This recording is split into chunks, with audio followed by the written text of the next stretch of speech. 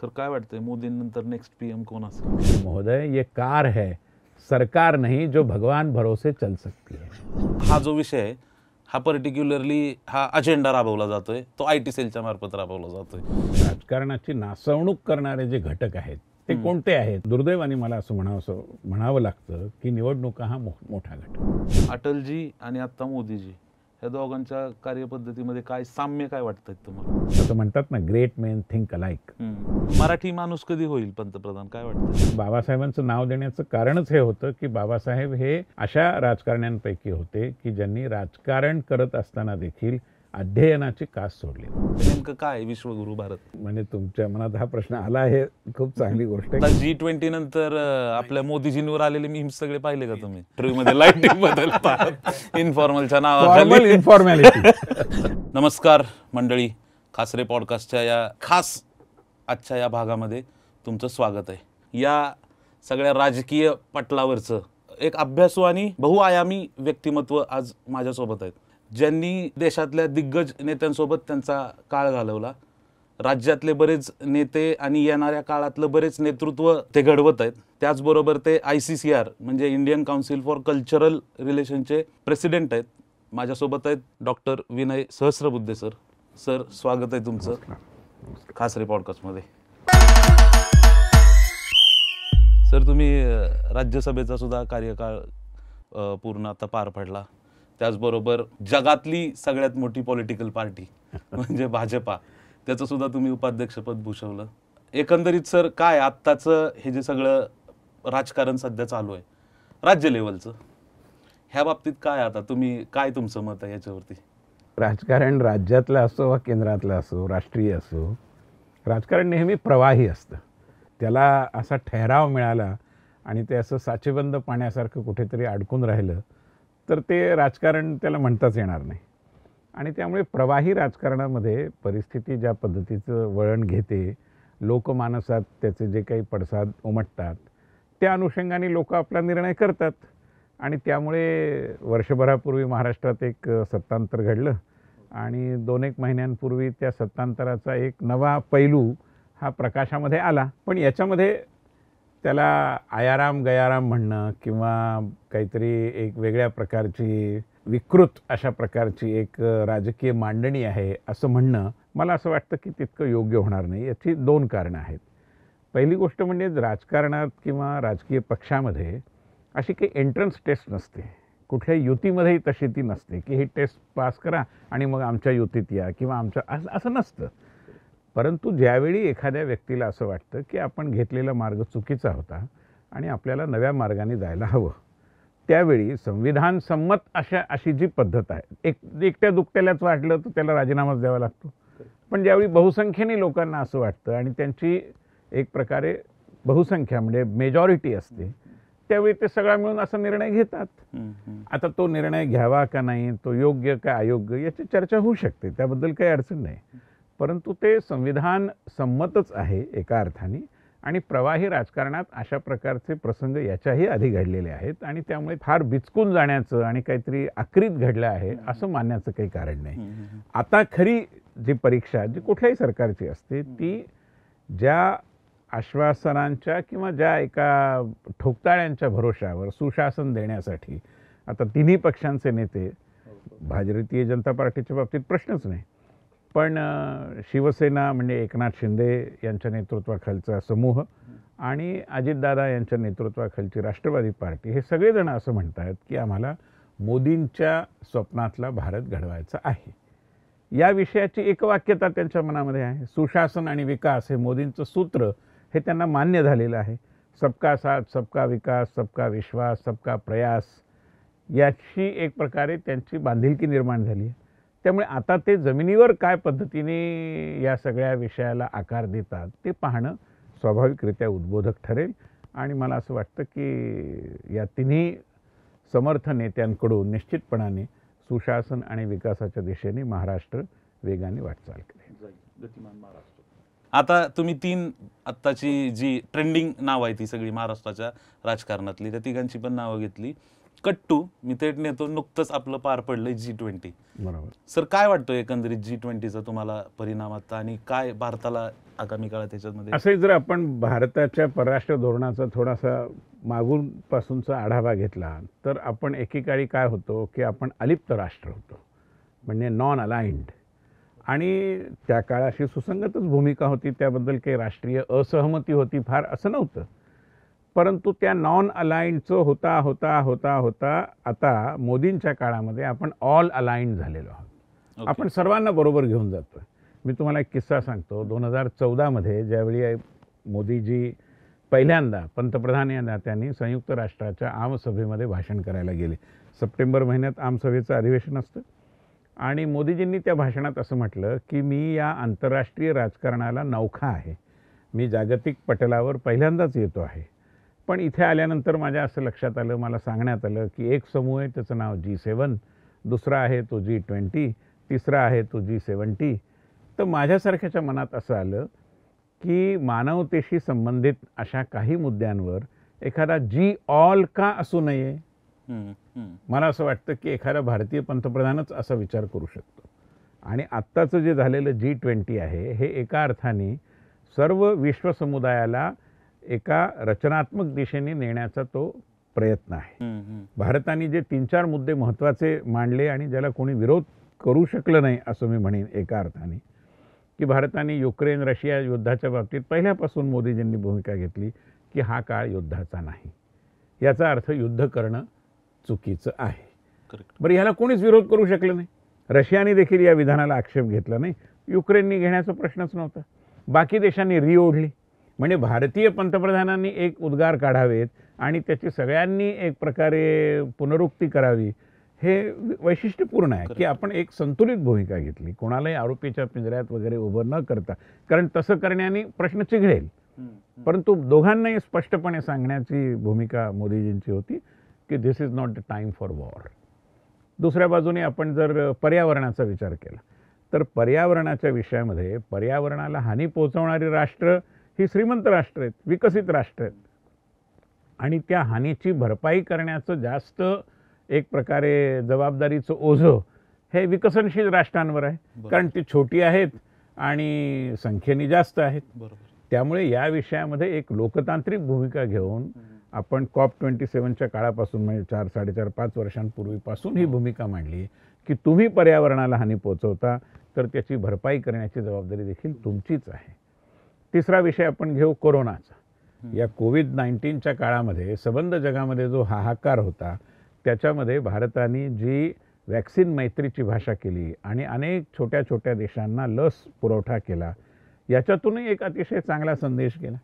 आज आपण पाहतो की इंटरनॅशनल सोलर अलायन्सचं कार्यालय मुख्यालय भारतात आहे. हो. मुख्यतः सोलर एनर्जी सारख्या विषयामध्ये एक जागतिक मंच असायला पाहिजे अशी भूमिका मांडणं आणि ज्या देशांमध्ये खूप मोठ्या प्रमाणात ऊन पडतं सगळ्या देशात पडत नाही सगळ्या जगात पडत नाही. पण ज्या दक्षिण गोलार्धात पडतं त्याला एक मुखरतेने आवाज देणं. आणि आपण एकत्र येऊया आणि ऊर्जा स्वातंत्र्य ऊर्जा स्वाधीनता या दिशेने जाऊया. हा विचार द्रष्टेपणाने भारतीय पंतप्रधानांनी मांडला. तो सगळीकडे स्वीकृत झाला. त्यामुळे असे सगळे विषय जर लक्षात घेतले किंवा संयुक्त राष्ट्रसंघाच्या लोकतांत्रिकीकरणाचा मुद्दा आहे. कधी काही ठरलं की हे पाचच देश सुरक्षा समितीमध्ये राहतील. आता त्यानंतर खूप इतिहास बदललेला आहे. अनेक राष्ट्र स शस्त्रसज्ज झालेली आहेत. अनेकांचं सामर्थ्य वाढलं आहे. जगाच्या नकाशातही छोटे मोठे बदल झालेले आहेत. याचा तुम्ही काहीच विचार करणार नाही. आणि म्हणून भारत म्हणतोय की संयुक्त राष्ट्राचं आणि एकूण जागतिक प्रशासनाचं ज्याला ग्लोबल गव्हर्नन्स म्हणतो आपण त्याचं लोकतांत्रिकीकरण झालं पाहिजे. आणखी एक शेवटचा मुद्दा सांगतो जो भारताच्या नेतृत्वाच्या द्रष्टेपणाची साक्ष आहे. की जगामध्ये काय आहे की उत्तर गोलार्धातले देश आहेत आणि दक्षिण गोलार्धातले आहेत. पण उत्तर गो गोलार्ध हे आपली हुकूमत दक्षिण गोलार्धावर गाजवतो. कारण उत्तर गोलार्धामधले देश हे अधिक संपन्न आहेत. श्वेत वर्णीयांचे आहेत. इतरही अनेक फायदे त्यांना मिळाले आहेत. दक्षिण गोलार्ध त्या मनाने बिचारा गरीब आहे. आपण आफ्रिका पहा दक्षिण अमेरिका पहा दक्षिण पूर्व आशिया पहा. तर त्यामुळे दक्षिण गोलार्धाला आवाज दिला पाहिजे. त्यांचं नेतृत्व आपण केलं पाहिजे. म्हणून पंतप्रधानांनी दोन अडीच महिन्यांपूर्वी दक्षिण गोलार्धातल्या राष्ट्रप्रमुखांची एक व्हर्च्युअल कॉन्फरन्स घेतली. अनेक समानता आहेत. आपल्या संस्कृतीमध्ये समानता आहे. आफ्रिकन संस्कृती आहे दक्षिण अमेरिकन संस्कृती आहे भारतीय सं त्यामुळे हे सगळे जे सेतू आहेत ते जोडून एक प्रकारे जगातल्या अशा सगळ्या राष्ट्रांचं पुढारीपण आता भारताकडे आपोआप चालत आलं आहे. आणि त्याचं कारण भारताने घेतलेल्या न्याय्य तर्कसंगत विवेकवादी आणि वैश्विक समुदायाच्या हिताच्या भूमिका हे आहे. ओके. आता भारतीय पंतप्रधानांच्याकडून एवढी वैश्विक असणारी अशा अप्रोच असणारे निर्णय घेणं तशी मतं मांडणं हे एका बाजूला ग्लोबल लिडर्सच्या सोबत आपण जी ट्वेंटी पण करतोय. पण दुसऱ्या बाजूला तुम्हाला असं वाटत नाही का सर? की ग्रामीण भारतातलं किंवा ग्रामीण भागातलं जे राजकारण आहे ते अजून पण तिथल्याच गटागटांमध्ये तिथल्याच गटातटांमध्ये अडकले एका बाजूला आपण जगाला शा शांततेचा मानवतेचा पुढं घेऊन जाण्याचा त्यात भारत कसा फ्रंटला असेल हा संदेश देतोय. पण दुसऱ्या बाजूला आपल्याच भारतातल्या ग्रामीण भागातलं मात्र राजकारण असं अडकलं गेलेलं आहे काही काही ठिकाणी गटातटात जे ग्रामीण भागात जास्त आहे. तर अशा ग्रामीण भागातल्या गोष्टींसाठी काय वेगळा अप्रोच ठेवणं गरजेचं असं तुम्हाला वाटतंय? मी तीन मुद्दे मांडेन. पहिली गोष्ट अशी की ग्रामीण काय आणि शहरी काय? राजकारणाची नासवणूक करणारे जे घटक आहेत ते कोणते आहेत? त्यातला दुर्दैवाने मला असं म्हणावं म्हणावं लागतं की निवडणुका हा मोठा घटक बरं. निव जेवढ्या जास्त निवडणुका तेवढी राजकारणाची जास्त नासाडी. तेवढ्या पैशाचा जास्त चुराडा. तेवढं सगळ्या प्रकारच्या काळ्या व्यवहारांना उत्तेजन. आणि म्हणून निवडणुकांची संख्या कमी केली पाहिजे या हेतूनही पंतप्रधानांनी खूप विचारपूर्वक समांतर निवडणुका मी त्याला एक देश एक निर्वाचन असं म्हणत नाही कारण एकच व्हावं असंही काही आवश्यक नाही. संसदेच्या एका स्थायी समितीच्या अहवालाने असं म्हटलंय की तुम्ही पाच वर्षातनं दोनदा निवडणुका करा काही हरकत नाही. म्हणजे क्लब करा. जवळजवळच्या निवडणुका एकत्र करा असं केलं तर अडीच वर्षातनं एकदा मतदान द्या करावं लागेल. पण निवडणुका जेवढ्या कमी होतील तेवढा आपल्याला विकासाकडे जास्त लक्ष देता येईल. तेवढा पैशाचा जो चुराडा होतो तो कमी होईल. तेवढी संसाधनांची बचत होईल. आणि आज ग्रामीण भागामध्ये बरं हे नुसतं एवढं म्हणजे लोकप्रतिनिधी निवडायचे ग्रामपंचायतीत तालुका पंचायतीत जिल्हा परिषदेत एवढं पुरतंच मर्यादित राहत नाही ना. सहकारातल्या निवडणुका आहेत बरोबर. बाजार समित्यांच्या निवडणुका आहेत. त्यामुळे हो. बँकांच्या निवडणुका आहेत. त्यामुळे निवडणुकांच्या चक्राला काही थांबाच नाहीये कुठेही. सतत चालूच आहे ते आपलं. होय. यातनं अतिशय मोठ्या प्रमाणात मला असं वाटतं की आपल्या ग्रामीण जीवनाची ग्रामीण विकासाची देखील हानी हम्म. आणि जातीपातीचं गटातचाटीचं राजकारण याला एक फार मोठी चालना त्यातनं मिळते. बरं या आणि त्यामुळे तो कमी करण्याचा विचार आहे ज्याचा सर्व राजकीय पक्षांनी मुख्यतः विरोधी पक्षांनी आणि समाजातल्या सर्व जाणकारांनी विचारवंतांनी गांभीर्याने विचार करण्याची गरज आलेली आहे. त्यामुळे हा एक पहिला मुद्दा मला वाटतो. दुसरा मुद्दा असा की या तुम्ही ज्या गटातटाच्या राजकारणाला उपाय काय अशा पद्धतीचा प्रश्न विचारला त्याला एक उपाय निश्चितपणाने हाही आहे की आणि आज ग्रामीण भागामध्ये आपण पाहतो आहोत तरुण ग्रामीण भागातला हा उद्यमी होण्याच्या दिशेने प्रयत्न करतो आहे. आज आपण फार्म प्रोड्युसर्स असोसिएशनचा जो सरकारने मांडलेला विचार आहे त्याला त्याच्याकडे आकर्षिले जाणारे लोक पाहतो आहोत. आज छोट्या मोठ्या प्रमाणामध्ये नव्या तंत्रज्ञानाची कास धरून काम करणारी तरुण मुलं आपण पाहतो आहोत. आणि शहर गावाच्या आकर्षणापासून दूर राहून परंतु शेतीमध्ये देखील मग ते नैसर्गिक शेती असेल किंवा अन्य प्रकारचे काही प्रयोग करणं जिथे कु ह्या प्रकारची लागवड होऊ शकणार नाही असं वाटत होतं तिथे तशा प्रकारची लागवड करून दाखवून एक नव्या पद्धतीचा विचार करणारे लोक आपण पाहत. हे सगळं जे काही आहे याला देखील मला असं वाटतं की सध्याच्या काळामध्ये अधिक चालना आहे अधिक. ज्या पद्धतीने मुद्रासारखे अ, कर्ज वाटपाचे योजनांचे सगळे प्रकार सुरू झाले आहेत त्याचाही निश्चितपणाने चांगला उपयोग होत आहे. आमचे मिलिंद कांबळे ज्या पद्धतीने Dalit industrial chamber of commerce and industries करतात तशा प्रकारचा प्रयोग आहे त्यातूनही याला चालना मिळते. त्यामुळे हा एक दुसरा भाग आहे तो मला असं वाटतो. तिसरा भाग असा की शेवटी लोकांना आता कसं होतं की सारखा सारखा तोच खेळ खेळूनही कंटाळा येतो. बरं. त्यामुळे लोकांनाही हे लक्षात आलं की अस्मितेच्या राजकारणावर आपल्याला फार काळ गुजराण करता येणार नाही. हा अमुक समाजाचा तो अमुक समाजाचा हे नेते अमुक समाजाचे हे आयकन ज्याला आपण म्हणतो आपले थोर या भारत मातेचे अनेक सुपुत्र यांना एखाद्या समूहाशी अडकवून ठेवलं जातं. यातनं त्यांच्या कामावर तर अन्याय होतोच पण त्या समाजावरही अन्याय होतो. आणि त्यामुळे याच्यातून आपल्याला बाहेर पडलं पाहिजे याची स्पष्ट जाणीव. लगेच ते बाहेर पडणार नाहीत कारण त्यांना त्या प्रवाहात राहत राहत हळूहळू बाहेर पडायचं आहे. परंतु ती जाणीव मला असं वाटतं की आज ग्रामीण भागामधल्या तरुणामध्ये देखील हळूहळू का होईना झिरपताना दिसते आहे. त्यामुळे आजचा उद्याचा ग्रामीण तरुण. एखाद्या नेत्याने शिट्टी वाजवली म्हणून त्याचा चमचा बनवून तो पश्चिमेला पूर्व दिशा म्हणायला तयार होणार नाही.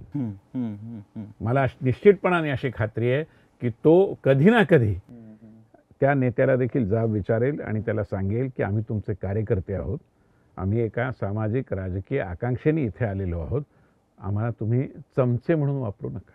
ओके. असं सांगणारा तरुण मला निश्चितपणाने दिसतो आहे की ग्रामीण राजकीय जीवनाच्या क्षितिजावर अशा एका तरुणाचा उदय होतो. आहे आता दोन गोष्टी खूप सोशल मीडियावर ट्रेंडला आहेत सर त्यातल्या त्यात आता जी ट्वेंटी नंतर सुद्धा. तुम्ही मीम मीम्स किती फॉलो करता मला आयडिया नाही पण तुम्ही बघता का मीम्स थोडी थोडी आता जी ट्वेंटी नंतर आपल्या मोदीजींवर आलेले मीम्स सगळे पाहिले का तुम्ही? तर आता एका बाजूला हा विषय आणि त्याच्यासोबत प्रत्येक ठिकाणी आलंय की विश्वगुरु भारत. खरोखर तुम्ही आता त्या त्या पूर्ण सेक्टरमध्ये तुम्ही स्वतः एक आघाडीने काम करताय नेतृत्व म्हणून काम करताय. नेमकं काय विश्वगुरु भारत? आधी मी मीम्सबद्दल बोलतो हो. आणि मग विश्वगुरूकडे येतो. बरं. असं की तंत्रज्ञान जसं जसं नवीन आत्मसात करण्याची प्रवृत्ती वाढते ना तरुणांमध्ये वाढणं स्वाभाविकच आहे. त्यांनी नवीन गोष्टींचा ध्यास घ्यायचा नाही तर कोणी घ्यायचा. त्यामुळे आणि बरं त्याच्यात एक क्रिएटिव्हिटी आहे. मीम्स तयार करणं हे काही निर्बुद्ध माणसाचं काम नाही आहे. त्याला क्रिया म्हणजे क्रिएटिव्हिटी लागते आणखीन गोष्टी. त्यामुळे लोक गंमतशीरपणे वेगवेगळ्या पद्धतीने कधी एखाद्याला असं वाटेल की हे फारच थिल्लर आहे वगैरे ते वाटू द्या. पण त्याच्यामधनं फार काही म्हणजे समाजाला चिंता वगैरे वाटावी असं काही मला वाटत नाही. ठीक आहे एक हां. पास टाईम असतो. आता पूर्वी कॉलेजेसमधनं तुम्हाला माहिती असेल निदान मी कॉलेजेसमध्ये होतो त्यावेळी आम्ही फिश पॉन्ड्स द्यायचो. हो ते बरोबर त्या वेळेचे मीम्सच होते एक प्रकार. एक प्रकारच्या क्रिटिकल कॉमेंट्सच होते. आणि अगदी आम्ही प्रोफेसर आणि प्राचार्यांचे सुद्धा एका मर्यादित का होईना पण हो. असं व्हायचंच. आता त्याचं जागा मीम्सनी घेतली आहे. त्यामुळे त्याच्याबद्दल एकदम फार काहीतरी सांस्कृतिक अधपतन वगैरे झालंय असं मानण्याचं काही कारण नाही. लोकांनी मर्यादित राहून कमरेखाली वगैरे न जाता अशा मीम्स केल्या. तर मला असं वाटतं ते सभ्य समाजाच्या आपल्या सगळ्या संकल्पनांना अनुसरूनच आहे. त्यात काही इतकं हळवं होण्याचं काही कारण नाही.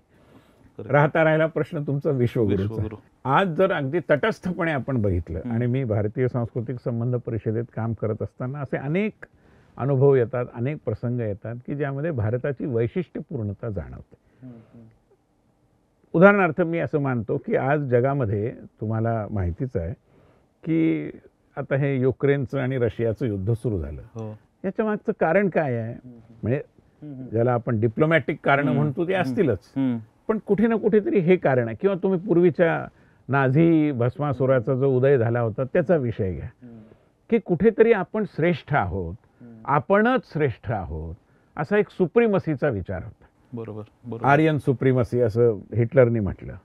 किंवा इथे सुद्धा आत्ताच्याही युद्धांमधनं आम्ही श्रेष्ठ तुम्ही कनिष्ठ ही भावना आहे. भारतासारख्या देशामध्ये ही भावना कधीच नव्हती. आपण नेहमी ज्याला आध्यात्मिक लोकशाही म्हणू अशा स्पिरिच्युअल डेमोक्रेसीचा एक प्रकारे पुरस्कार केला. म्हणून संसदेत राज्यसभेत शिरताना मी आता म्हणेन जुन्या संसद भवनात. एक वरती लिहिलेलं होतं एकम सत विप्रा बहुधा वदंती हे भारताचं सूत्रवाक्य आहे की एक सत्य जे आहे ते एक आहे. लोक त्याला अनेक नावाने पुकारतील किंवा त्याचा उच्चार करतील. पण सत्य एकच. एकच आहे. हा भारतीय विचार आहे. त्यामुळे आपण अमुक एक कनिष्ठ तमुक एक वरिष्ठ असा विचार मांडत नाही. आपल्याकडे म्हसोबा हा देखील देव असेल तर तो तितकाच पूज्य आहे जितका गणेश आहे. करेक्ट किंवा जितका ब्रह्मदेव आहे किंवा जितका विश्वकर्मा आहे. त्यामुळे आपण कधी देवांमध्ये असं हे केलेलं नाही. भेदाभेद नाही भेदाभेद केलेला नाही. हो. त्यामुळे श्रेष्ठ निष्ठ कनिष्ठ वगैरे अशा प्रकारचा किंवा सुप्रीमसीचा जो विचार आहे तो भारतीय चिंतनात नाही. आता त्यामुळे भारतीय चिंतन स्वीकारलं तर सुप्रीमसी कमी होईल. किंवा हा सुप्रीमसीचा एकांतिक विचार. त्याला आळा बसेल असं जर कोणी मांडलं तर ते तसंच होईल का नाही मला माहिती नाही. पण त्यात तार्किकदृष्ट्या काही चूक आहे असं मला वाटत नाही. मग लोकांना असं वाटतं की आपल्याकडे या प्रकारचं जर तत्त्वज्ञान आहे तर आपण कदाचित जगाच्या सध्याच्या भ्रांत अवस्थेत जगाला मार्गदर्शक ठरू शकू मार्गदर्शक ठरू शकू म्हणून विश्वगुरू. बर काहींना असं वाटू शकतं की विश्वगुरू असं स्वतःला म्हणणं ही एक अहम मान्यता आहे किंवा हा एक गर्विष्ठपणा आहे असाही त्याला एक वास येऊ शकतो. पण मला असं वाटतं की म्हणणारेही तशा पद्धतीने म्हणत नाही. आपलं आणि हे अरविंदांनी म्हटलं योगी अरविंदांच्या एका विवेचनात त्यांनी असं म्हटलं की आज जगातला एकही प्रश्न एकही समस्या अशी नाही की जी भारतात उपस्थित नाही. भारत सगळ्या समस्या आहेत. तुम्ही कुठल्याही घ्या. हो. पर्यावरणाच्या घ्या जीवनशैलीच्या घ्या स्त्री पुरुष संबंधांच्या सगळ्या वाटेल तो विषय घ्या. ती समस्या भारतात आज आहेच. करेक्ट पुढे अरविंद असं म्हणतात की पण या सगळ्यांना उत्तरं शोधण्याची ताकद देखील भारतामध्ये आहे. करेक्ट हा तेवढ्या एवढ्यापुरताच त्या विश्वगुरूचा अर्थ आहे असं मला वाटतं. आणि त्यामुळे श्रेष्ठ कनिष्ठ अशा प्रकारचे वाद असतील किंवा अस्मितांचं अतिरेकी राजकारण असेल. किंवा स्त्री पुरुष जेंडर किंवा या प्रकारचे विषय असतील या सगळ्यामध्ये भारतीय चिंतन जे आहे आपण विविधतेत एकता म्हणतो. खरं म्हणजे आपली धारणा अशी आहे. आणि त्यामुळेच आपण तेहतीस कोटी देव वगैरे अशा प्रकारच्या कल्पना मांडतो आणि आपण तर प्रत्येक माणसात देवत्व पाहतो.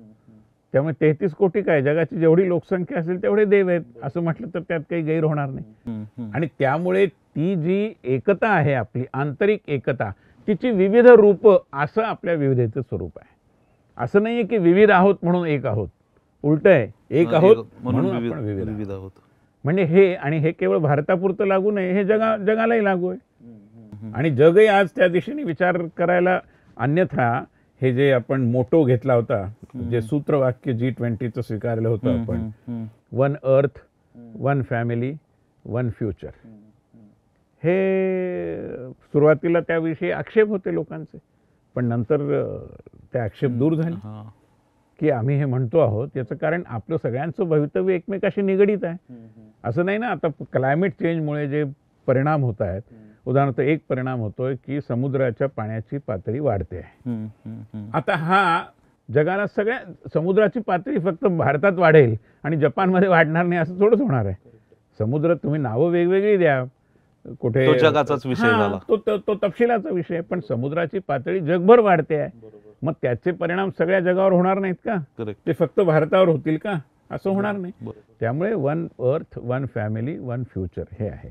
तर हे आता जगाला मान्य होत आहे. आणि त्यामुळे आधी सांगण्यात आलं होतं की कदाचित सहमती होणार नाही जी ट्वेंटीमध्ये विरोधाचे सूर निघतील आणि विस्कळीतपणा राहील. बा चीनचे अध्यक्ष आलेच नाहीत रशियाचे आले नाहीत काय होणार? सगळं सुरळीत पार पडलं. कारण भारताची सगळ्यांना बरोबर घेऊन जाण्याची सामोपचाराची भूमिका होती. आणि तीच मला असं वाटतं की non aligned to all aligned या प्रवासाचं एक द्योतक आहे. जनरली पोरांमध्ये आता हे डिस्कशन असतं कुठेही बसलं की. की अरे नाही नाही नाही नाही ही आय टी सेलनी पसरवलंय. भाजप आय टी सेल हे म्हणलं की सर आता बरं झालं तुम्ही येत आहेत कारण तुमच्यासोबत हा विषय डिस्कस केला तर अजून त्याला प्रकाश तुम्ही चांगला टाकू शकता. भाजप आय टी सेल ह्याच्या बाबतीत खूप समज गैरसमज आहेत. तर हे नेमकं कसं वर्क होतंय? प्लॅनिंग कसं असतं? काय असतं?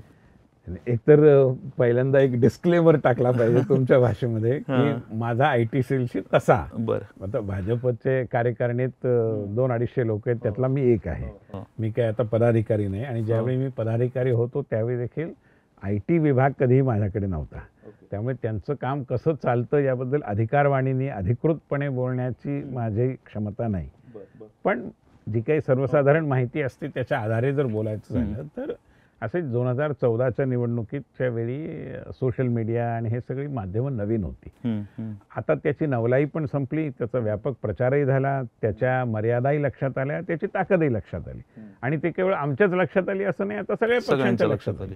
त्यामुळे भाजपच्या आय टी सेलला कोंडीत सापडवून एकटं गाठून त्याच्याबद्दल कोलाहल करण्यात काही मतलब नाही. सगळ्याच राजकीय पक्षांचे आय टी सेल आहेत.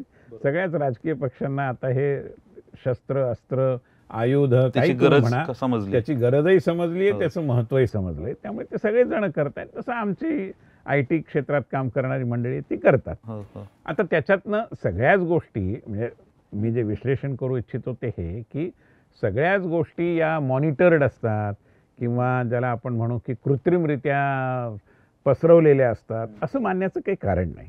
काही वेळा असं होईल ते जगात एक प्रकारे आपण हे आय टीचं क्षेत्रसुद्धा किंवा सोशल मीडियाचं क्षेत्रसुद्धा हे ज्याला आज इंग्रजीमध्ये बज क्रिएशन म्हणतात.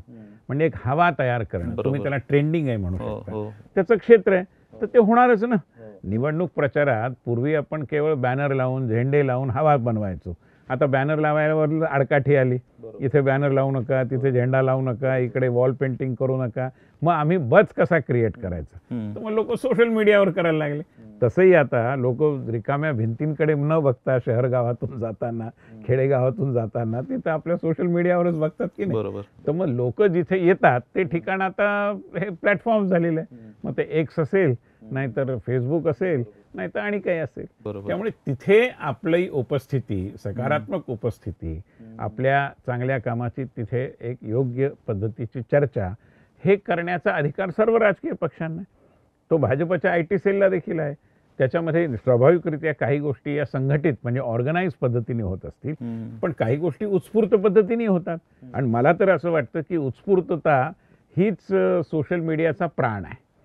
असं मी समजा मी आता भाजपचा कार्यकर्ता आहे. आणि असं समजा की आय टी सेल आम्हाला काही आदेश देत असेल असं काही आदेश बिदेश देत नाही. मी तुम्हाला करत तेच. हम्म.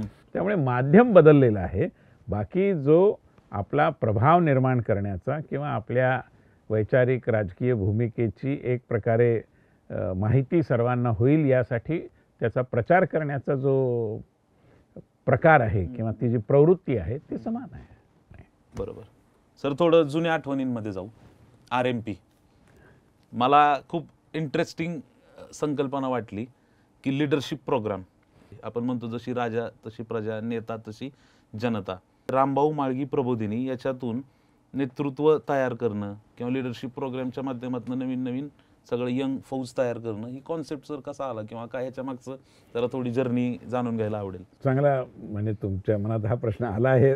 खूप चांगली गोष्ट आहे. कारण हे खूप आजच्या काळामध्ये देखील आणि सर्वत्र सर्व लोकशाही देशांमध्ये ते अतिशय रिलेवंट आहे. त्याचा खूप चांगला संदर्भ आहे. तगडा. काय झालं की आपल्या देशामध्ये सुरुवातीला तर विरोधी पक्षच नव्हता.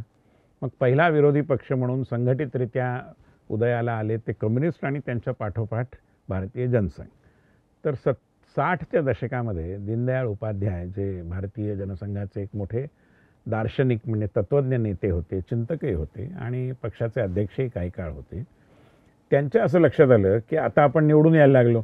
पासष्ट सदुसष्टमध्ये भाजप म्हणजे जनसंघाचा समावेश असलेली काही सरकारही अस्तित्वात आली संयुक्त विधायक दल नावाच्या संकल्पनेतून. त्यामुळे निवडून आल्यानंतर प्रत्यक्ष सत्ता चालवावी लागते काम करावं लागतं. तोपर्यंत आपली लोकशाहीसुद्धा प्रगल्भ होत होत या स्थितीला आली होती की विरोधी पक्षात असा वा सत्ताधारी असा. थोडीफार सत्ता प्रत्येकाकडे येतेच येते. कारण जिल्हा परिषद जिल्हा नियोजन मंडळ कुठे ना कुठे तुम्हाला जावंच लागतं भूमिका मांडावीच लागते. त्यामुळे सत्ता असतेच.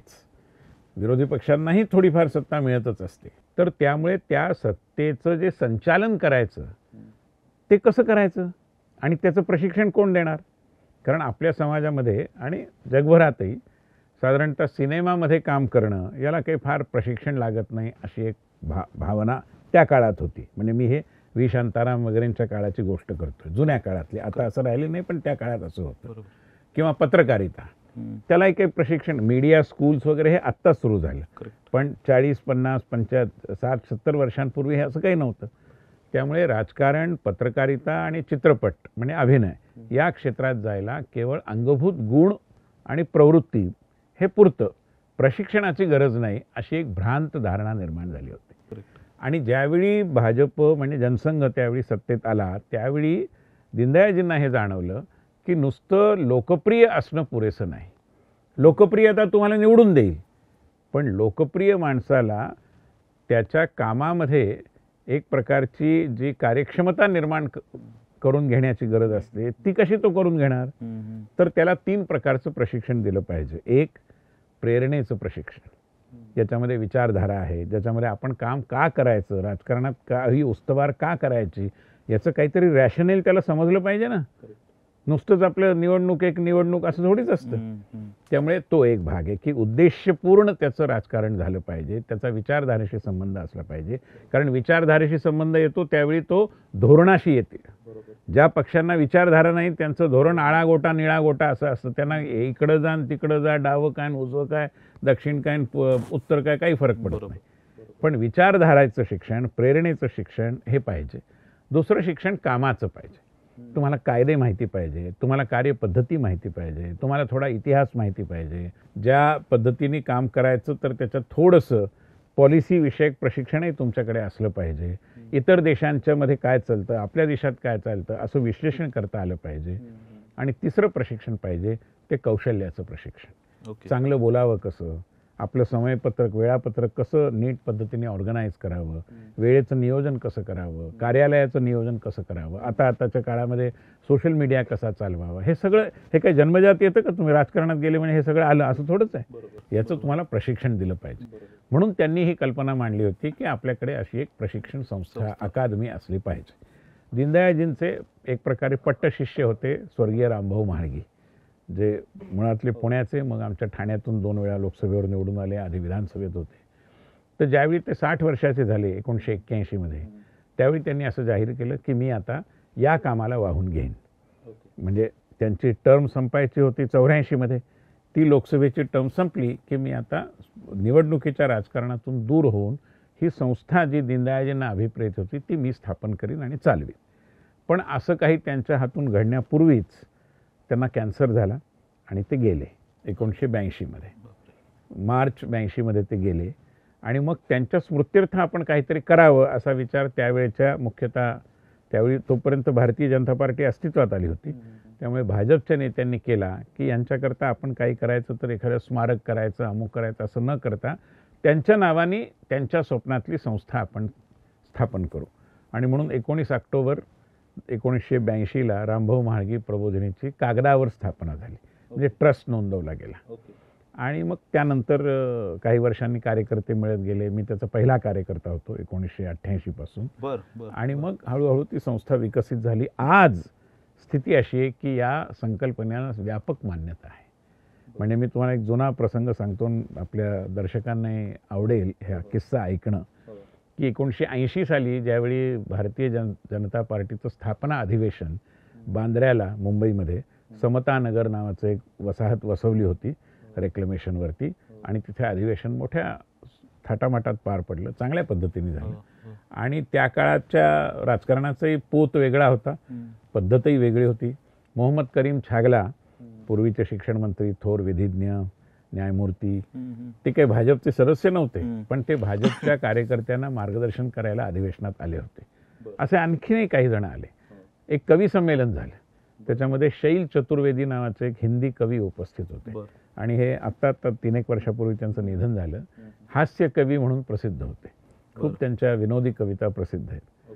त्यांची एक कविता त्यांनी त्या अधिवेशनात सांगितली होती ज्याचा उल्लेख आमचे नेते मान्य अडवाणीजी वारंवार करतात त्या कवितेचा उल्लेख. बर बर. ती कविता अशी आहे कि नए नए मंत्री बने एक सज्जन जब पहली बार सरकारी कार में बैठे तब उन्होंने ड्राइवर को कहा आज कार मैं चलाऊँगा. ड्राइवर बेचारा डर का मारा विनम्रता से बोला तो हुजूर मैं उतर जाऊँगा. मंत्री जी ने पूछा भला क्यों? तो ड्राइवर ने कहा क्योंकि महोदय ये कार है सरकार नहीं जो भगवान भरोसे चल सकती है. म्हणजे कार चालवायला लायसन्स लागतं ट्रेनिंग लागतं सरकार चालवायला काहीच लागत नाही. हा त्याचा मतितार्थ होता. आणि हे वस्तुस्थितीतही आहे की असं थोडीच असतं. लोकशाहीमध्ये आपण प्रौढ मताधिकार पद्धत आहे. त्यामुळे तुमचं शिक्षण पाहून कोणी तुम्हाला उमेदवारी देईल मतदान करेल अशी शक्यता नाही आणि ते चुकीचंही आहे. पण क्षमता पाहिजे. बरोबर. आणि म्हणून हा क्षमतांचा विकास घडवून आणण्याकरता एक स्वतंत्र रचनाबद्ध अशी व्यवस्था स्ट्रक्चर्ड व्यवस्था. हे ओळखणारा मी असं विनम्रतेने म्हणेन की भारतीय जनसंघ भारतीय जनता पार्टी हा देशातला पहिला राजकीय पक्ष होता आणि अशा प्रकारचं एक संस्थात्मक उपकरण विकसित करण्याचा एक प्रयत्न मी म्हणेन त्याला. हाही करणारा पहिला पक्ष हा भारतीय जनता पार्टीच होता. शरद पवारांनी त्यांच्या आत्मचरित्रात या प्रकल्पाचा उल्लेख करून त्याचं एक प्रकारे प्रशंसा केली आहे. लोक माझ्या संघातीमध्ये हो हे लोक आहे. माझ्या सांगातीमध्ये आहे. जयंतराव पाटलांनी मध्यंतरी विधानसभेमध्ये याचा उल्लेख केला होता. म्हणजे मी काही ही यांच्या सर्टिफिकेटमुळे ही संस्था मोठी आहे असा माझा दावा नाही. त्याची संकल्पना मुळातच मोठी आहे. पण ती अशा अनेक पक्षांमधल्या लोकांना देखील आता मान्य होते आहे. हा त्यातला महत्त्वाचा मुद्दा आहे. आणि त्यामुळे या संकल्पनेविषयी सर्वदूर आकर्षण आहे. इनफॅक्ट मध्यंतरी आमच्याकडे आठ दहा वर्ष झाली असतील. आमचा एक पाठ्यक्रम आहे वक्तृत्व कला आणि संवाद कौशल्य आणि तरुण कार्यकर्त्यांकरता आहे. बर बर. तर त्याच्यात एकदा आम्ही तो असंच अनाऊन्स केला आणि लोक आपापल्या पद्धतीने त्याचे नो नाव नोंदणी करतात फी भरतात येतात. तर एकदा सांगली भागातल्या पन्नास कार्यकर्त्यांनी नाव नोंदणी केली आणि नंतर लक्षात आलं की त्यात मनसे भाजप काँग्रेस राष्ट्रवादी अशा शिवसेना अशा पाचही पक्षांचे दहा दहा कार्यकर्ते योगायोगाने एकत्र आले. आणि त्या कार्यकर्त्यांनी इतकी चांगली प्रतिक्रिया दिली. ते आम्हाला जाताना म्हणाले आम्हाला तर असं वाटायला लागलं की कार्यकर्त्यांचा एक वेगळा पक्ष असला पाहिजे. त्यामुळे त्यामुळे हे बदलत्या राजकारणाचं रूप आहे आणि त्याला म्हाळगी प्रबोधिनीची या प्रकारची एक साथ संगत आहे. की कार्यकर्त्यालाही आता हे वाटतंय की आपण नुसतंच झिंदाबाद मुर्दाबाद करणारे कार्यकर्ते असता कामा नये. आपला म्हणून एक स्वतःचा परिचय असला पाहिजे ओळख असली पाहिजे आपल्याकडे क्षमता असल्या पाहिजेत. आपल्याला राजकारण वाचायचं कसं समजायचं कसं हे कळलं पाहिजे. आणि म्हणून राज चांगल्या नेत्यासाठी क्षमता विकास हा आवश्यक आहे. आणि तेच काम म्हाळगी प्रबोधिनी आता जवळजवळ चाळीस वर्ष झाली करते. आहे आर एम पीच्या निमित्तानं म्हणजे तुम्हाला बऱ्याच वेगवेगळ्या राष्ट्रीय पातळीवरच्या राज्यातल्या चांगल्या चांगल्या लिडर्सला पण ह्या निमित्ताने तुमचा सगळा संवाद त्यांच्याशी झाला. तर मला प्रमोद महाजनांच्या बाबतीतली तुमची एखादी जुनी आठवण जरा ऐकायला आवडेल. ने आग्रहाने नमूद करीन की म्हाळगी प्रबोधिनीच्या संकल्पनेचा जो संस्था म्हणून विकास व्हायला हवा त्या टप्प्यावर प्रमोदजी आमचे अध्यक्ष होते. स्थापना झाली त्यावेळी उत्तमराव पाटील अध्यक्ष होते.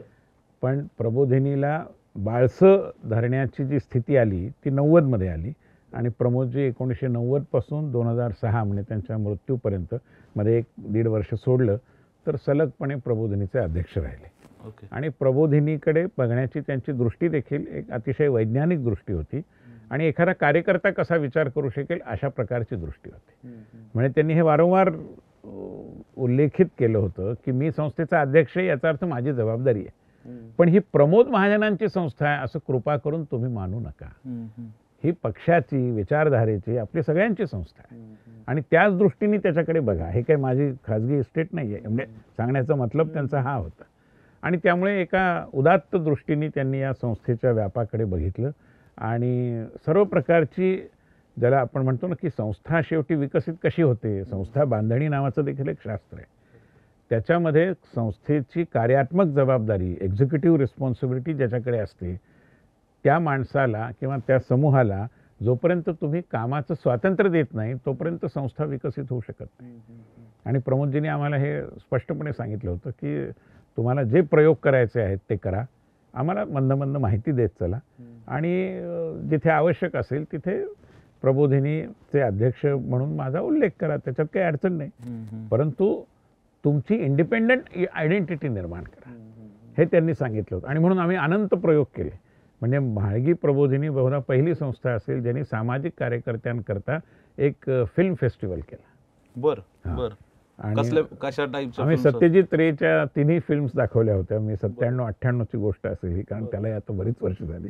आणि त्यानंतर सामाजिक प्रश्नांचं चित्रण करणाऱ्या ज्या जे चित्रपट आहेत अंकुर नावाचा एक सिनेमा होता. किंवा जैत रे जैत आहे. हो. यात एकेका समाजाचे प्रश्न मांडले होते. तर हे सगळे चित्रपट आम्ही त्याच्यामध्ये दाखवले त्याच्यावरती रसग्रहणात्मक चर्चा केल्या.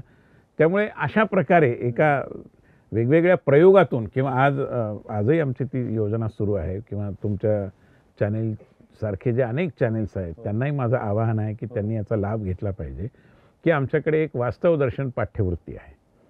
त्याचा अर्थ काय आहे की आज समाजामधले पत्रकार विशेषतः तरुण पत्रकार. पत्रकारितेचं एक आकर्षण खूप असतं ना. तो असं दांडा घेऊन जायचं आणि कोणालाही काही प्रश्न विचारायचे याचं लोकांना स्वाभाविक आणि त्यात काही गैर नाही आहे. पण रिसर्च बेस हा आवश्यक आहे. अभ्यास करण्याची सवय असली पाहिजे. आणि रिसर्च म्हणजे नुसतं गुगल नाही. गुगलचं सहयोग घ्या तुम्ही पण इतर अनेक गोष्टी आहेत ज्या तुम्हाला विश्लेषणातून उमगणार आहेत. त्यामुळे संशोधनाची प्रवृत्ती पत्रकारांमध्येही वाढीला लागावी. म्हणून आम्ही ही वास्तवदर्शन पाठ्यवृत्ती सुरू केली. आणि आज त्या पाठ्यवृत्तीतून पुढे आलेले म्हणजे मी कोणाची नावं घेत नाही. परंतु आमच्या एक पत्रकार महिला या आज एका महाराष्ट्रातल्या नामवंत टी व्हीच्या जवळजवळ सहसंपादक आहेत मुंबईला. आणखी एक ज्या लोकसत्तेमध्ये काम करत होते आता एक बालमासिक चालवतात. ज्यांनी महाराष्ट्रात पहिला. बियर बारमध्ये काम करणाऱ्या मुलींच्या समस्या या विषयाचा संशोधन प्रकल्प त्यांनी प्रबोधिनीची पाठ्यवृत्ती घेऊन केला होता. कारण त्यावेळी म्हणजे आपल्याकडे डान्स बार आणि हे सगळं प्रकरण साधारण नव्वदच्या अखेरीस म्हणजे अठ्ठ्याण्णव नव्याण्णवपासून दोन हजार चारपर्यंत मग त्याच्यावर डान्स बारवर बंदी अमुक तमुक बरेच प्रश्न आले. पण यात सगळ्यात ज्यांची ससे होलपट झाली शोषण झालं हा वर्ग कोणता होता? तर डान्स बारमध्ये काम करणाऱ्या मुली हा वर्ग होता. तर त्यांचे प्रश्न काय आहेत आणि त्यांच्याकरता काय करता येईल? अशा अनेक प्रश्नांचा एक प्रकारे सा किंवा आणखीन एक चांगला आज आता आपण महिला आरक्षणाची चर्चा करतोय आणि खूप चांगला निर्णय मोदी सरकारने घेतला आहे आणि माझी खात्री आहे त्याला सर्वसंमतीने संसदेची मंजुरी मिळेलच. पण महाराष्ट्रात एकोणनव्वदपासून चौऱ्याण्णवपर्यंत पहिली बॅच महिला नगरसेविकांची जी आरक्षणाचा लाभ घेऊन महापालिकेत गेली होती तिने आपल्या कार्यावधी पूर्ण केला. होता बर. पहिल्यांदा. हो. एकोणनव्वदमध्ये आपल्याकडे पहिल्यांदा महिला आरक्षण आलं स्थानिक स्वराज्य संस्थांमध्ये आणि पहिली बॅच आली. त्याच्यावर शिवाजी विद्यापीठात एक राज्यशास्त्राच्या प्राध्यापिका आहेत डॉक्टर नानिवडेकर. त्या माळगी प्रबोधिनीचे संचालक होत्या काही काळ. तर डॉक्टर नानिवडेकरांच्या नेतृत्वाखाली आणि अभ्यास पथक आम्ही नेमलं होतं. आणि त्यांनी सगळ्या महापालिकांमध्ये जाऊन त्यावेळी महापालिकांची संख्याही कमी होती. महिला लोकांशी महिला नगरसेविकांशी बोलून एक अहवाल दिला होता. त्यातलं एक इंटरेस्टिंग उदाहरण सांगतो म्हणजे संधी मिळाली की महिलेचा आत्मसन्मान कसा जागृत होतो. आणि त्याला तिला त्या प्रकारची एक जाणीव कशी तीव्रतेने होत राहते. कोल्हापुरात त्यांनी काही महिलांशी बातचीत केली. आता पहिल्या फळीतल्या ज्या महिला नगरसेविका झाल्या त्या कोण होत्या? तर त्याचं वर्णन त्या अहवालात आहे आमच्या की तो स्टेट स्पॉन्सर्ड फेमिनिझम होता. एक प्रकारे. कारण अशी काही त्यावेळी फार मोठी मागणी आली होती आणि मागणीला उत्तर म्हणून असं काही नव्हतं. पण राज्यांनी ठरवलं एक प्रागतिक निर्णय घेतला आणि महिला त्यामुळे मग आल्या कोण? तर एखाद्या निर्वात पोकळीमध्ये त्या एखादी बाटली असेल तर त्याच्या अवतीभोवतीची लोकच त्याच्यामध्ये सक केले जातात. तसं जी घराणी राजकारणात होती मग कोणाची आई कोणाची बायको कोणाची मुलगी असे आले. आता त्यामुळे काय झालं की महापालिकेच्या सभेत त्यांची आयडेंटिटी ही त्यांच्या कुटुंबावरून होती. म्हणजे या भोसले बहिणी या कुलकर्णी मावशी या असं असं होतं ते. तर त्यांना सभागृहात बाकी पुरुष नगरसेवक असंच म्हणायचे. अहो शिंदे बहिणी अहो मानेताई तर त्या महिलांनी एकदा सांगितलं की असं आम्हाला बहिणी बहिणी म्हणू नका. मी सुलोचना शिंदे मी मनीषा ढोले. माझ्या नावाने मला उल्लेख करा. माझ्या नवऱ्याच्या नावाने किंवा कुटुंबाच्या नावाने उल्लेख करण्याचं काही कारण नाही. ही महिलेला तिच्या अस्मितेची जी जाणीव झाली होती जी अतिशय महत्त्वाची होती त्यामुळे हा जो संशोधन अहवाल आहे हाही असाच काही पत्रकार आणि संशोधक मंडळींनी एकत्रित येऊन केला. त्यामुळे या प्रकारे देखील किंवा आजही मी जे म्हटलं की एखाद्याला जर अशी आवड असेल की मला अमुक एक विषयाचा अभ्यास करायचा आहे ज्याचा अभ्यास झालेला नाही तर त्यांनी एक संशोधनाचा आराखडा तयार करावा. माळगी प्रबोधिनी एक रिसर्चर इन रेसिडेन्स नावाचा एक कार्यक्रम चालवते. निवासी संशोधक वृत्ती. तुम्ही दहा दिवस प्रबोधिनीच्या अद्ययावत संकुलामध्ये येऊन राहा. तिथला निवास लायब्ररी करता जो तुम्हाला ॲक्सेस पाहिजे तो. हे सगळं विनाशुल्क आहे. भोजनाचा खर्च आपण कुठेही गेलो तरी आपला आपण करतो तेवढा फक्त करावा लागतो. आणि जर तुम्हाला असं वाटलं की मला अमुक अमुक विषयावर अभ्यास करायचा आहे त्यातली ही बारा पुस्तकं पाहिजेत. आमच्याकडे सहाच आहेत. तुम्ही येणार असाल तर आम्ही अन्य सहा पुस्तकं तुमच्याकरता खरेदी करून उपलब्ध करू आमच्या अभ्यास केंद्राचं नावच मुळी डॉक्टर बाबासाहेब आंबेडकर कार्यकर्ता अभ्यास केंद्र असं आहे. कारण आम्ही असं मानतो ही लायब्ररी आम्ही ब्याण्णव साली सुरू केली. शरण कुमार लिंबाळे उद्घाटनाला आले होते. आणि आम्ही बाबासाहेबांचं नाव देण्याचं कारणच हे होतं की बाबासाहेब हे अलीकडच्या काळातल्या अशा राजकारण्यांपैकी होते की ज्यांनी राजकारण करत असताना देखील अध्ययनाची कास सोडली नव्हती. ते प्रकांड पंडित होते विद्वान होते. आणि अभ्यासाशी जी त्यांची मैत्री होती ती त्यागून त्यांनी राजकारण कधी केलं नाही. करेक्ट आणि म्हणून त्याला कार्यकर्ता अभ्यास केंद्र असं नाव दिलं. बरोबर त्यामुळे असे बऱ्याच गोष्टी आहेत की ज्या मला असं वाटतं की माळगी प्रबोधिनीच्या संकल्पनेचा एक अंगभूत घटक आहे. नेत्यांच्या प्रशिक्षणाचं आपण आत्ता बोललो. तिथून आपण येऊ आता शिक्षणाकडे थोडंसं. शिकवणाराच व्यक्ती शिक्षक म्हणून तो तेवढा स्किलफुल आहे असं तुम्हाला वाटतं का? कारण अलीकडच्या काळात ऑनलाईन शिक्षण झालं आपण असं म्हणतो की ठीक आहे तुम्ही ऑनलाईन एज्युकेशन घ्या. पण त्या शिक्षकालाच त्या गोष्टीची तेवढी माहिती आहे का? एक्सेल असेल बेसिक किंवा पॉवर पॉईंट असेल इथपासून ज्या गोष्टी असतील ते मग नवीन नवीन आता ए आय पर्यंतचं. तर काय वाटतं तुम्हाला? स्किल बेस्ड एज्युकेशनच्या नाही नाही पण म्हणून जर आपण नवीन शैक्षणिक धोरणाचा किंवा राष्ट्रीय शैक्षणिक धोरणाचा आराखडा जर बघितला तर त्यामध्ये पूर्वी कधी नव्हता एवढा शिक्षक प्रशिक्षणावर भर दिलेला आहे. आणि त्याची त्या निवेदनाची किंवा जो काही धोरणाचा दस्तावेज आहे त्याची सुरुवातच इथून होते की शिक्षकाला प्रतिष्ठा मिळाली पाहिजे. शिक्षण म्हणजे ज्ञानदान हे प्रतिष्ठेचं काम आहे ही भावना त्याच्या मनात रुजेल असं सामाजिक वातावरण निर्माण करण्याची गरज आहे. दुसरं काहीच जमत नाही म्हणून शिक्षकी. असं चित्र बदलण्याचा इरादा कमीत कमी त्या धोरणातून स्पष्ट झालेला आहे. आणि त्यामुळे शिक्षक प्रशिक्षणावर खूप मोठ्या प्रमाणात भर आहे. शिक्षकाला तंत्रज्ञानाशी मैत्री करता आली पाहिजे. जवळजवळ अनेक विद्यापीठांनी आता एज्युकेशन टेक्नॉलॉजीचे अभ्यासक्रम सुरू केले आहेत. बर. त्यामुळे त्याही माध्यमातून तुम्हाला ज्या अडचणी जाणवत आहेत त्या अडचणींवर मात करता येईल अशी स्थिती हळूहळू निर्माण होते आहे.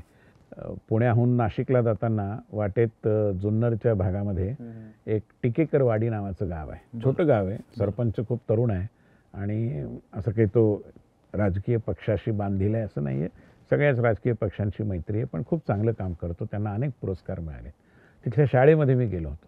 तिथल्या छोट्या शाळेमध्ये देखील आज स्मार्ट बोर्ड वापरला जातो. किंवा लहान मुलांना टॅब्स दिलेले आहेत. टॅबलेट्स दिलेली आहेत. आणि लहान मुलं मला ते कसं वापरायचं वगैरे ते मला सांगत होती की आम्ही या या पद्धतीने ते वापरतो. त्यामुळे तंत्रज्ञानाच्या विषयात काही फार अडचण येईल असं मला वाटत नाही. आपला ग्रामीण भागातला शिक्षक सुद्धा आणि तंत्र आता कसं झालंय की तंत्रज्ञानाची दहशत वाटावी असं आता राहिलेलं नाही. हा हा. म्हणजे मी ज्यावेळी कम्प्युटर शिकलो हो. ना किंवा आमच्या आई वडिलांना कम्प्युटर हाताळताना शिकवताना त्यांना भीती वाटायची की आपण असं प्रेस केलं तर एकदम स्फोटबीट तर नाही ना होणार बिघडेल. बा हां. काहीतरी बिघडून तर नाही ना जाणार. आपल्याला करता तर काही येत नाही. घडवणं सोडून द्या. बिघडवणं तर नाही ना होणार. असं वाटायचं. आता तसं राहिलेलं नाही. आता स्मार्टफोनमुळे आपण वास्तविक म्हणा आभासी म्हणा पण तंत्रज्ञानाशी मैत्री करण्याच्या मानसिकतेत आलेलो आहोत. स्मार्टफोनचे दुष्परिणामही आहेत. पण एक चांगला परिणाम असा की त्यांनी तंत्रज्ञान तुमच्या खिशात नेऊन पोचवलेलं आहे. आणि त्यामुळे आता तो प्रश्न येणार नाही. हां त्याचा तरी देखील कौशल्याचा मुद्दाही राहतोच आणि त्याच्यामध्ये अनेक मुद्दे आहेत. उदाहरणार्थ आपण इंग्लिश मिडियमचं शिक्षण घेतो आणि भारत सरकारचा राष्ट्रीय शैक्षणिक धोरणातला एक महत्त्वाचा मुद्दा आहे की मातृभाषेतून शिक्षण. बरोबर. आणि याचा संबंध किती जवळचा आहे पहा आपले आपली मातृभूमी जी आहे आपली माता जी आहे माते इतकंच प्रेम मातृभूमीवर. आणि मातृभूमी इतकंच आपल्यावरती ऋण आहे ते आपल्या मातृभाषेचं आहे. बरोबर. ह्याला आपण समजून घेतलं पाहिजे. दुर्दैवाने त्याचं आकलन कमी आहे. मी अनेक ठिकाणी हा मुद्दा विनम्रतेने पण आग्रहाने मांडतो आहे की लहान मुलांचं इथॉस काय होणार? आमचे एक खासदार आहेत कर्नाटकातले. ते मला एक किस्सा सांगत होते की ते एका ग्रामीण भागात गेले तर त्या घरामध्ये त्यांना म्हणजे संपर्काच्या कामामध्ये जायचं होतं. तर ते घरात त्याचे आजोबा लहान नातवाला खूप रागवत होते. तर ते त्यांनी विचारलं काय आजोबा एवढे रागावता का? तर म्हणले हा मुलगा मला फार वैताग आणतो. काय झालं काय? नाही म्हणे रोज घरी येतो आणि एक ती इंग्रजी कविता सारखी म्हणत बसतो रेन रेन गो अवे आता म्हणे तीन महिने झाले पाऊस नाही आणि हा म्हणतो रेन रेन गो अवे आता रेन रेन गो अवे तिकडे ठीक आहे हो. इथे तुम्ही कशा म्हणजे आम्ही का त्या कविता शिकायच्या आपल्याला रे रे पाहिजे. पाहिजे. आणि नुसतं हे पावसापुरतं मर्यादित नाहीये. आपण खातो काय पितो काय वाचतो काय बघतो काय उगाच नाही ना लोकमान्यांनी सावरकरांनी गांधीजींनी स्वदेशी स्वभाषा स्वभूषा या सगळ्यांचा पुरस्कार केला होता. बरोबर. आपल्याला आपल्या मातीचा सुगंध असलेलं असं सगळं पाहिजे. कुठून तरी परदेशातून आलेलं आपण का म्हणून स्वीकारायचं आणि का म्हणून त्या पद्धतीने? इंग्रजी भाषेशी काही वैर नाहीये. पण इंग्रजीमध्ये रवींद्रनाथ टागोरांच्याही कविता आहेत. मराठी लेखकांनी इंग्रजी लिहिलेलं आहे. असं नाही आहे की काही काही- काहीच जमलेलं नाही आपल्याला. हो, हो. त्यामुळे ते वाचावं आपल्या भाषेशी मैत्री ठेवावी आणि आपल्या मातीचा सुगंध असलेल्या गोष्टी आपल्या भावविश्वात समाविष्ट होतील हे पाहावं हे मला असं वाटतं की सगळ्या शिक्षकांसमोरचा एक प्रकारचा हा चॅलेंज आहे. आणि ते जर आपण करायचं ठरवलं तर राष्ट्रीय शैक्षणिक धोरणाचं जे उद्दिष्ट आहे ते चांगल्या पद्धतीने आपल्याला पूर्ण करता सर काय वाटतंय मोदींनंतर नेक्स्ट पीएम कोण असेल कॅन्डिडेट काहीतरी इन्साईट तुमच्याकडनं द्या आता. नाही नाही असं नाही. असं आहे राजकारण पक्ष जरी वेगवेगळे असले तरी राजकारणाचा एक पोत टेक्स्चर हे समानच राहतं. नेहरूंनंतर कोण असा प्रश्न आला होता? मग इंदिरा गांधींनंतर कोण? असाही प्रश्न आला. त्यामुळे किंवा अटलजींनंतर कोण? असंही त्यावेळी वाटलं होतं की अटलजी अडवाणी एक. एक स्थापित नेतृत्व होतं आणि त्यानंतर तर काय पोकळीच दे- असं लोकांना वाटू शकलं असेल. त्यामुळे मला असं वाटतं की पंतप्रधान नरेंद्र मोदी दीर्घकाळ आपल्याबरोबर असतील त्यांचं नेतृत्व आपल्याला मिळेल. आणि कोणाही नेत्यानंतर पुढचा कोण याचा प्रश्न ती ती संघटना आणि त्या संघटनेपेक्षाही तो तो काळ हे. त्याचं उत्तर देत असतं. मराठी मराठी माणूस कधी होईल पंतप्रधान? काय वाटतंय? नाही होईल ना. असे मराठी माणूस पंतप्रधान होणं हा एका म- एक विद्यार्थी म्हणून सांगतो हो. माझं म्हणणं सगळ्यांना पटेल न पटेल हा स्वतंत्र विषय. पण राजकारण हे कसं असतं की राजकारण हे वातावरणावरती अवलंबून असतं. आणि वातावरण तशा पद्धतीने बिल्डअप होण्याची गरज असते. बर. आज मी अनेक आता दिल्लीमध्ये मी जवळजवळ दहा वर्ष होतील मी वावरतो आहे यांना त्या जबाबदाऱ्या सांभाळतो आहे. मला असं वाटतं की दिल्लीला महाराष्ट्राचा अधिक चांगला परिचय करून देणं हे आपल्याला आधी आवश्यक आहे. बर बर. म्हणजे असं नाही की त्यांना महाराष्ट्र माहिती नाही. पण त्याचे जे बारकावे आहेत हो. नुआन्सेस ज्याला आपण म्हणतो ते आहेत. ते जर माहिती नसतील महाराष्ट्रा अरे कसला महाराष्ट्र? महाराष्ट्र आहे हा. करेक्ट कशासाठी ते आ लावायचा? कर्नाटका हे चुकीचं आहे. हे त्यांना जर आपण सांगितलंच नाही तर ते तसंच होतं. त्यामुळे सगळ्या प्रकारे आपली संस्कृती आपले खाण्यापिण्याचे पदार्थ आपला इतिहास आपले योद्धे आपला इतिहास या सगळ्या विषयीची जेवढी जाण दिल्लीमध्ये पाहिजे ती त्या प्रगल्भतेने आणि त्या सखोलतेने निर्माण करण्यात आपण खूप यशस्वी झालो असं मला वाटत नाही. आपल्या कलाकारांनी आपल्या आणि आपल्याकडे काय नाही हो सगळं आहे आपल्याकडे. हो. पण आपली उडबस दिल्लीतली वाढवली पाहिजे. मी अनेक कलाकारांना हे सांगतो की असं मानण्याचं काही कारण आमच्यावर नेहमी अन्यायच होतो. असे शेवटी आजचं जग हे नेटवर्किंगचं जग आहे. हो. तुम्हाला आवडो न आवडो. जोपर्यंत तुम्ही त्या शास्त्री भवन उद्योग भवन फलाणा भवन ढिकणा भवन जिथे सरकारी बाबू बसतात अधिकारी बसतात निर्णय करतात त्यांच्या त्यांच्याही एक विचार विश्वाच्या मर्यादा आहेत. हो. त्यामुळे त्यांना जे जवळचे आहेत समजा हरियाणाचे युपीचे राजस्थानचे मध्य त्यांचा जास्त विचार होतो. महाराष्ट्र असं जोपर्यंत होत नाही की आमचा कौशल इनामदार माझा चांगला मित्र आहे संगीताच्या क्षेत्रात आता एका सरकारी समितीवर आम्ही बरोबर काम करतोय. अशा अनेक मित्रांना मी हे म्हणतो की तुम्ही दिल्लीत येणं जाणं वाढवा. असं होऊ द्या. हाँ वो इनामदार जी आते हैं कौशल जी नाम है ना उनका वो संगीत वाले असं. तोपर्यंत ही उडबस जोपर्यंत वाढत नाही तोपर्यंत महाराष्ट्राची जी काही मूळ व्हॅल्यू आहे. आपला जो आपलं जे संचित आहे त्या संचिताच्या इतका आपला दबदबा निर्माण होणार. आपलं संचित मोठं आहे आपला दबदबा कमी आहे. ओके. कारण आपल्याविषयीची जाणीव त्या मनाने कमी आहे. ती वाढवली वाढवणं अतिशय आवश्यक आहे. आणि ती जर आपण वाढवली सर्वार्थाने तर मला असं वाटतं की हे होणं शक्य आहे मराठी पंतप्रधान व्हावा अशी मराठी जनतेची महाराष्ट्राची तुमची आमची सगळ्यांची इच्छा असणं हे अतिशय स्वाभाविक आहे. ते होण्यासाठी जे अनेक गोष्टी करायला हव्यात त्यातला एक भाग असा आहे की महाराष्ट्राचा दिल्ली दरबारी म्हणजे दिल्लीच्या वातावरणात केवळ दरबारात नव्हे. दिल्लीच्या वातावरणात आपला एक चांगला दबदबा सर्व समाजांनी मिळून तो केवळ एका राजकीय नेत्यांनी करण्याचा विषय नाही आहे तो आपल्या संस्कृतीचा आपल्या संगीताचा आपल्या नाटकांचा आपल्या सिनेमाचा आपल्या वाद्यांचा आपल्या खाद्यपदार्थांचा असा दबदबा निर्माण झाला पाहिजे. तर हे शक्य. ओके. आत्ता तुम्ही अटलजींचं नाव घेतलं सर. अटलजी आणि आत्ता मोदीजी या दोघांच्या कार्यपद्धतीमध्ये काय साम्य काय वाटतंय तुम्हाला? असे दोघांनाही राष्ट्र सर्वोपरी आहे. त्यांचा कुठलाही पर्सनल अजेंडा नाही. त्यांना कोणाही आपल्या काका पुतण्या मामा भाचा यांना पुढे आणायचं अशी काही स्थिती नाही. त्यांना आपल्या काही व्यक्तिगत स्वार्थासाठी काम करायचं असेल अशी शक्यता वाटावी संशय यावा असं काही त्यांच्या अवतीभोवती नाही. आणि त्यामुळे अशी खूप साम्यस्थळं आहेत. दोघंही कवी आहेत. दोघंही प्रतिभाशाली. दोघंही काही ना काही विचार करणारे मूलभूत विचार करणारे. मी तुम्हाला एक उदाहरण सांगतो. म्हणजे आणि हे मी सगळ्याच थोर मोठ्या नेत्यांच्या बाबतीत असं म्हणतात ना ग्रेट मेन थिंक हम्म. लालबहादूर शास्त्रीजींनी त्या काळात काय घोषणा दिली? जय जवान जय किसान. अटलजींनी त्याला जोडलं. जय जवान जय किसान जय विज्ञान. मोदीजी आणखी एक पाऊल पुढे गेले. त्यांनी म्हटलं जय जवान जय किसान जय विज्ञान जय अनुसंधान. म्हणजे रिसर्च. हे ग्रेट मेन थिंक अलाइकचंच उदाहरण आहे. बरोबर. त्यामुळे खूप समान सर आता तुम्ही एवढ्या मोठ्या जगातल्या पॉलिटिकल पार्टीमध्ये काम करताय. जाता जाता एक प्रश्न मला असा वाटतोय. काय चॅलेंजेस असे तुम्हाला वाटतात की ते फेस करावे लागतात अशा एवढं मोठं सगळं संघटन सांभाळत असताना? असे व्याप जसा वाढतो तसं संघटनेचं जे सूत्र आहे ते आहे माणसं सांभाळणं. बरोबर. आणि त्यामुळे पाच जणांना सांभाळणं सोपं असतं. पाचशे जणांना सांभाळायचं म्हणजे थोडंसं कठीण होतंच ना. त्यामुळे आम्हा सगळ्यांना आमची क्षमता वाढवली पाहिजे. माणसांना जवळ करण्याची त्यांना सांभाळण्याची त्यांना ऐकण्याची त्यांना बरोबर घेऊन जाण्याची.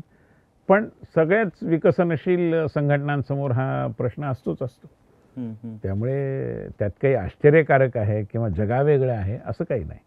चांगली गोष्ट अशी की या प्रकारच्या संघटनशास्त्राची जाणीव असलेले असे आमचे सगळेच नेते आहेत. मोदीजी खुद्द संघाचे प्रचारक होते. अमित भाई अनेक वर्ष संघटनेचंच काम करत होते. आणि विद्यार्थी परिषदेत किंवा नंतरही तीच गोष्ट राजनाथजींची तीच गोष्ट नितीन गडकरींची तीच गोष्ट जयप्रकाश जगतप्रकाश नड्डांची. आणि त्यामुळे संघटनशास्त्राची उत्तम जाण असलेले हे नेते आहेत. आणि माझी खात्री की वाढत्या संघटनेसमोर जे नवे आव्हानात्मक विषय येतात त्याला तोंड देण्याचं सामर्थ्य त्यांच्यात तर आहेच पण संघटनेमध्ये निर्माण करण्याची त्यांची क्षमता देखील आहे. चालेल. थँक्यू मीही तुमचा एक फॅन आहे. हो. ते मी जाता जाता सांगतो. ते मी आधीच सांगितलं असतं तर माझ्या बोलण्याकडे तशा नजरेने बघितलं गेलं असतं. पॉडकास्टचं एक वैशिष्ट्य माझ्यासारख्या असं जाणवतं की आपलं सगळंच जीवन इतकं औपचारिक औपचारिक झालेलं आहे. आणि अशा मनमोकळ्या अनौपचारिक गप्पा ज्याच्यात तुमच्यावरही काही टेन्शन नव्हतं. तुम्ही टेन्शन कधी घेत असाल असं मला वाटत नाही. पण तुम्ही माझ्या मलाही काही टेन्शन दिलं नाही. त्यामुळे टेन्शन रहित अशा प्रकारे सहज साध्या सोप्या मोकळ्या दिलखुलास गप्पा मारण्याचा एक केंद्र असं. पॉडकास्ट नावाच्या उपक्रमाचं एक. वैशिष्ट्य आहे असं मला वाटतं आणि तुम्ही फार घड्याळाकडे बघत नव्हता आणि मी घड्याळाकडे बघत नव्हतो. तुमच्यावर तेही काही फार मोठं दडपण होतं असं. मला वाटत नाही. त्यातही खासरे टी व्हीचं वैशिष्ट्य जे मला जाणवलं एक तर तुम्ही ग्रामीण आणि समाजाच्या सर्व घटकांपर्यंत पोचलेले आहात आणि त्यामुळे एक प्रकारे रिचिंग दी अनरिच्ड असं ज्याला म्हणतं. तसं तुम्ही ऑलरेडी केलेलं आहे. आणि त्यामुळेच लोकांनी तुमच्या मागे ताकदही उभी केलेली आहे तुम्हाला प्रोत्साहनही दिलेलं आहे. आणि त्यामुळे मला असं वाटतं की शेवटी ही जी माध्यमं आहेत ती लोकतांत्रिक माध्यमं आहेत. बरोबर पण ती लोकतांत्रिक होतील केव्हा? लोकांपर्यंत पोचतील तेव्हा ना? ते काम तुम्ही करता आहात आणि त्यामुळे हे तुमचं वैशिष्ट्य आहे. की जिथे मी कदाचित जाऊ शकणार नाही तिथे तुम्ही मला घेऊन जाणार आहात. आणि माझ्यासारख्या अनेकांना तुम्ही घेऊन गेलेले आहात. हो. आणि त्यामुळे असाच एक सकारात्मकतेचा संदेश तुमच्या माध्यमातून सगळ्या महाराष्ट्रभर पोचत राहील याची मला खात्री आहे. Thank you. Thank you sir thank you thank you मित्रांनो. भेटू नव्या भागात.